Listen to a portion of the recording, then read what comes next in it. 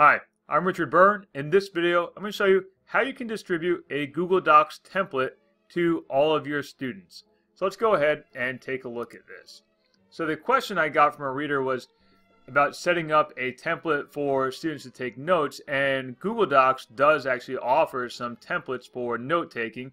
You can see one here on my screen that I've modified a little bit for a social studies class. And you can see I have some key terms, key events, and I want my students to take their notes in this style of format. Right? So at the beginning of the school year, my kids might need a little bit of help structuring their notes, their notebooks. So what I'm going to do is I'm going to go into my Google Classroom. And under classwork, I'm going to create an assignment. Now I'm going to call this assignment just simply use this template for taking notes and I'm going to write in here, please remember,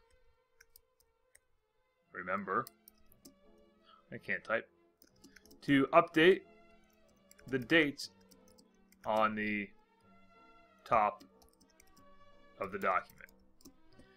Now, I'm not going to grade this, and I'm not going to set a due date.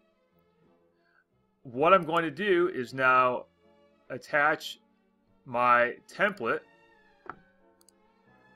my notes template there, and I'm going to say every student will get a copy. So I'll make a copy for each student. So now my students will have a copy of that template and they can modify anything within that document because it's just going to be modifying their own copy of it. It's not going to modify it for the whole class and they can go back and reuse that template and make copies of it for themselves down the road.